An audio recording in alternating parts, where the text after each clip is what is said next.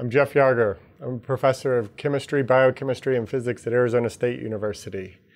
I'd like to introduce a basic topic in electrochemistry or, or biological uh, redox chemistry today. And I want to start by reminding us of Gibbs free energy because really what I want to make is, is a relationship to how general uh, the field of electrochemistry is to biological and chemical processes.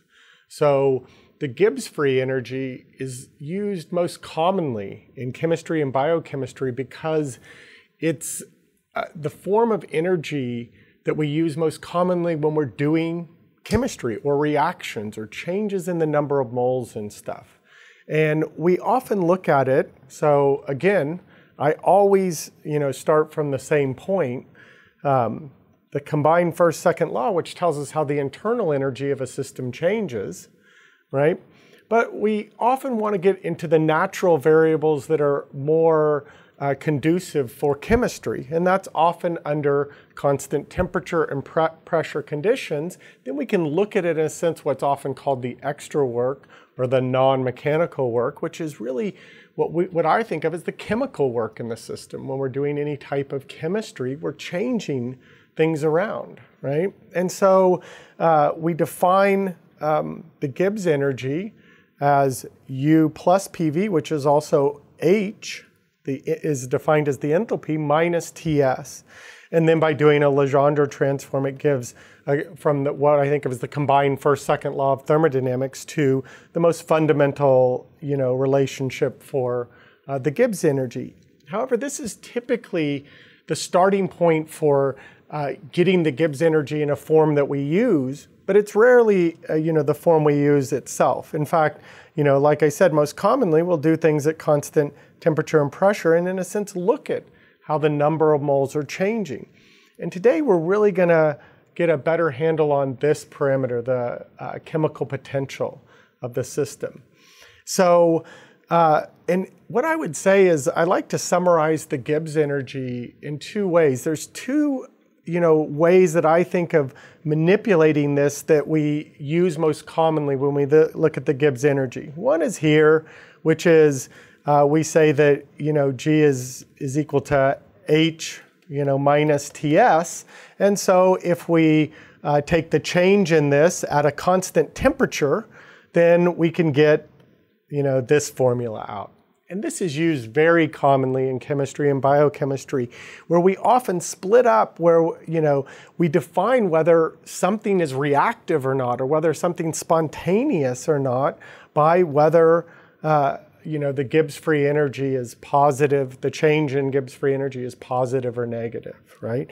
And we often think about this in, in terms of, of you know, enthalpy, which is kind of heat or the useful energy available in the system, and then the entropy, which is, you know, the energy lost due to disorder or, or entropy messiness in the system, right, that we subtract away and say, you know, how much um, you know, useful energy do we have? Do we have any useful energy to do chemical work or reactivity, you know, in a system, right? And so we use this all the time looking at it, right? We also, you know, when we're looking at not just whether reactions happen or not and kind of what, you know, different forms of energy are going into it, um, we often look at it also from this standpoint, from this chemical work term, and, you know, derive a way of looking at the uh, Gibbs free energy, which I would say is during a reaction, you can look at the reaction quotient, right?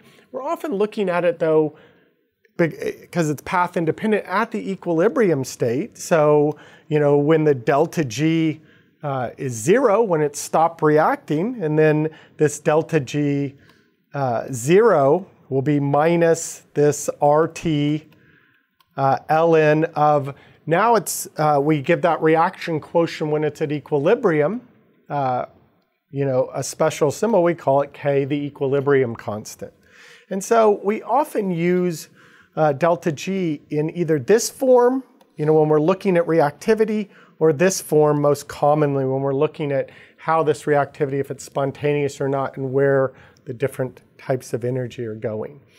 And this equilibrium constant or reaction quotient, when you're not at equilibrium, the, the ratio of these tells you whether you're still reacting. And you know, once you get to equilibrium, though, this equilibrium constant tells you something about the concentrations or the number of moles, you know, of each component. And that's what we're doing in biochemistry or chemistry.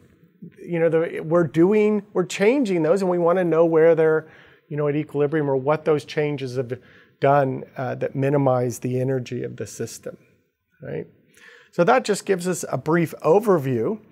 Now, what I, the reason I do that is because there's such a fundamental relation between the Gibbs free energy, which we use for almost all kind of classical thermodynamics to look at reaction and equilibria and how things are changing in chemistry and biochemistry. And then oftentimes electrochemistry or redox chemistry, reduction uh, oxidation reaction, gets treated almost like a separate subject.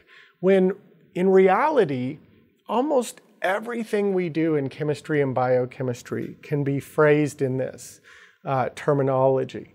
Because really, at its core, electrochemistry or redox, the reduction oxidation, is really just asking is there a change you know, in the electrons, in the, you know, are you, um, you know, in a reaction, you know, moving electrons around? And if so, then oftentimes one of the easiest ways to look at this is by if you're moving electrons around, then uh, you know you're gonna you're gonna be able to look at this in terms of you know uh, voltage, in terms of current, which is electrons moving, etc.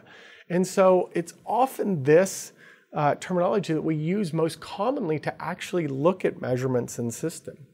And I, I point, you know, like I said, the two that we use most commonly, which is this or, or knowing that, you know, the, when delta G is zero, that this will be um, minus RT ln of K, right? Um, uh, as we've written here.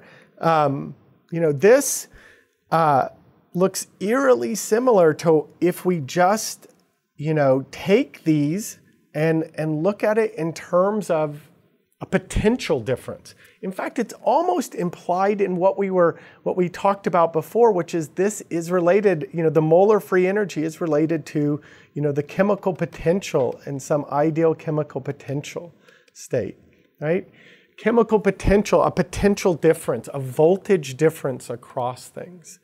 And so the Nernst equation is, in a sense, the electrochemical equivalent with the same equilibrium constant, the same reaction quotient uh, that we use when we're doing normal um, chemistry or biochemistry reactions.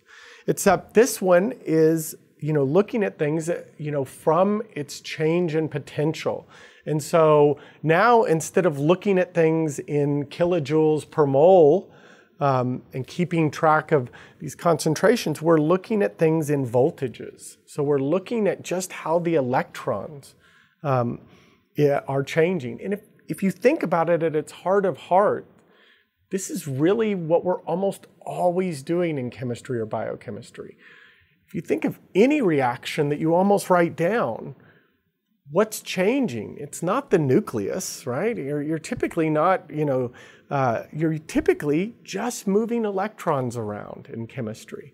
You know, most of chemistry is just related to pushing electrons around and causing them to push into bonds, causing them to move one place or another to maybe make something an ion or make something back to neutral, right? To, to make covalent bonds or ionic bonds to push electrons from one atom over to another etc. But I mean, that almost defines what we mean by doing a reaction. So almost everything we do in chemistry and biochemistry can be done in this way. And most of uh, modern measurements are done through, because of the sensitivity of being able to measure things electronically, um, we often practically measure things electrochemically.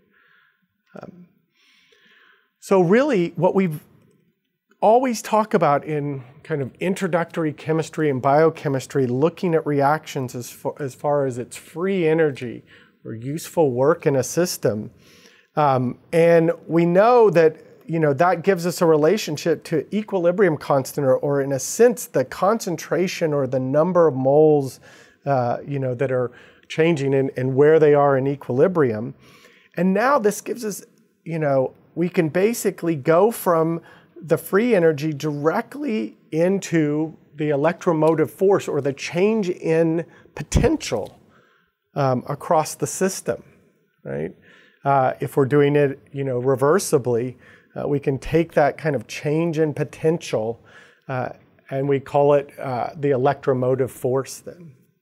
And from the electromotive force, we can go to the equilibrium uh, constant. So really this gives us a path uh, for almost everything we, know, we look at as far as uh, free energy under constant temperature or pressure conditions to be able to look at this in electrochemical terms.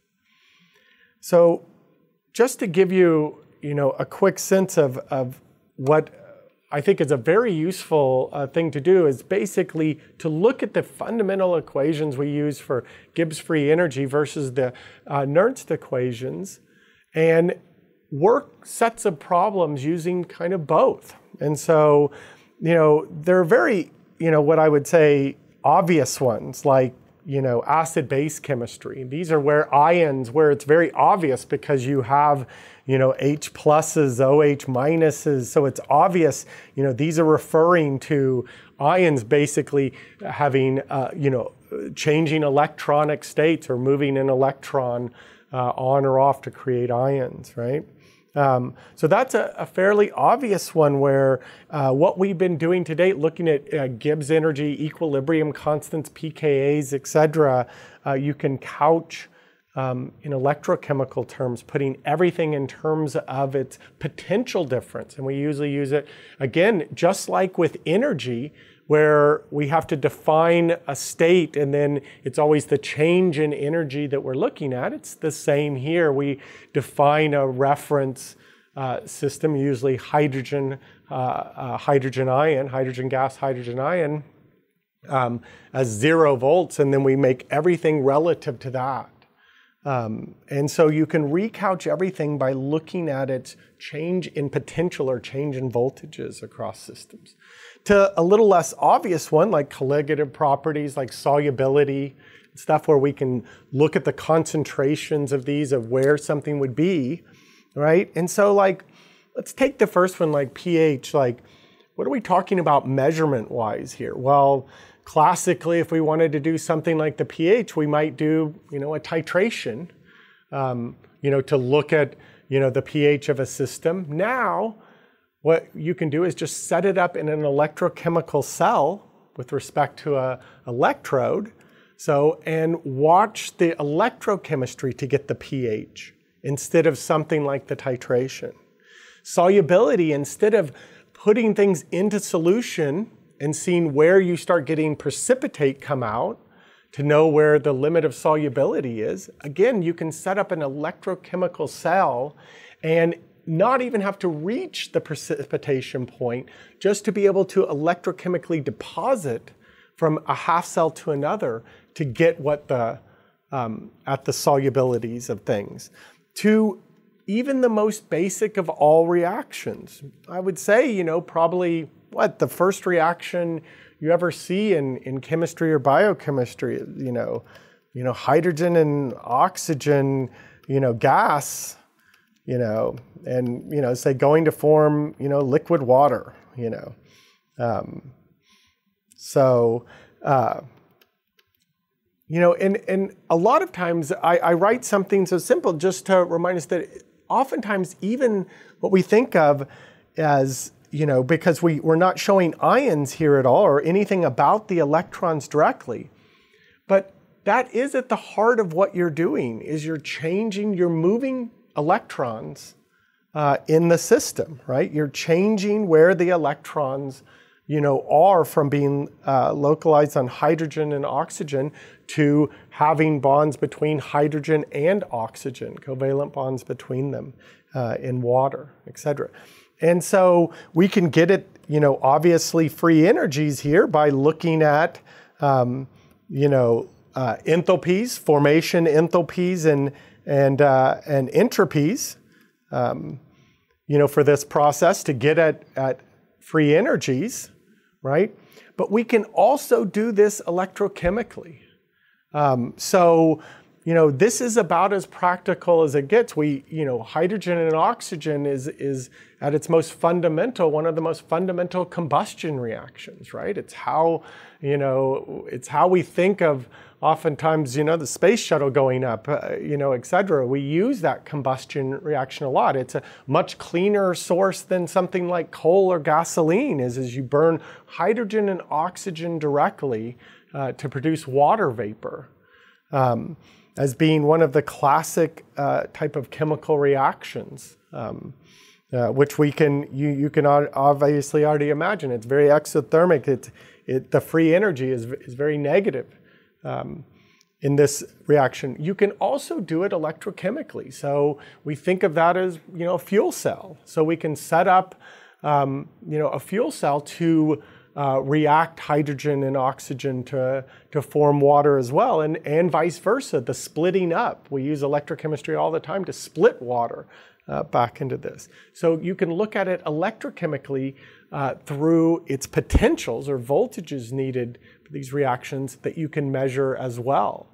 In fact, I would say it's a, it's a very good lesson to look at this, uh, this type of reaction and look at it classically as a combustion uh, reaction, you know, and so using this as, for example, you know, hydrogen cars, you know, right? Like uh, hydrogen power to, you know, power your par- car, a clean source of combustion for normal combustion engine cars versus you know, a different way of more or less doing the same thing, which is a fuel cell uh, to use hydrogen and oxygen uh, to create water. And you can do this now at, you know, much lower temperatures. So, uh, you know, do something, uh, you know, a fuel cell at much lower temperatures and look at, um, you know, these reactions. In a sense, it'll give you a sense of how the delta G changes as a function of temperature in a system. So I hope this very general uh, introduction to electrochemistry will help bridge between what we do in kind of classical uh, biochemistry or chemical thermodynamics and uh, electrochemistry or redox or ion um, thermodynamics and, and where we're going to be motivating, re-looking at a lot of processes we've already done, but from the standpoint of measuring potentials uh, instead of um, you know, looking at the, the energies directly. Thank you.